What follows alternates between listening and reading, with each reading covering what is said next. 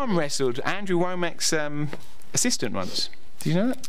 You know what? There is that you can't be proud of winning an arm wrestle. So when I used to work at Andrew girl. You just Womack. Ministries, Andrew's assistant, who's an awesome woman, been with him like 30 years, Donna Priest, her name, Donna Priest, great lady, executive assistant.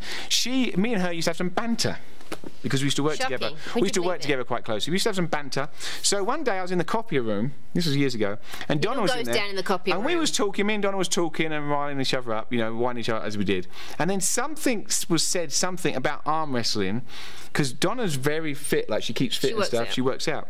She works out. Anyway, Don't go there. something happened. I said some. Someone mentioned something like, "Well, I could take her on an arm wrestle," and she went, "Boom!" Put her arm down, like to challenge me On top of the copier. on top of the copier, on top of the table. So I put my, as I put my elbow down, I thought, "What am I doing?"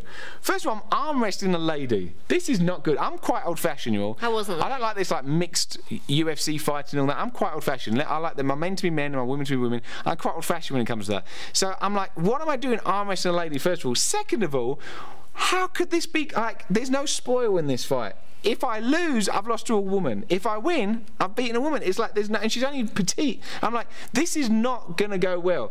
But it was too late. The change on. We locked that- arms. The thing that I find really fascinating is not only did you think about that in the moment, but you're still recounting it I'm now. recounting it. So we locked arms, okay, and we went for it. And I'm doing the wrist twister, and I'm, and I'm trying to, you know, and I'm not, I, I- you know, I like to think I'm fairly strong. And you beat her.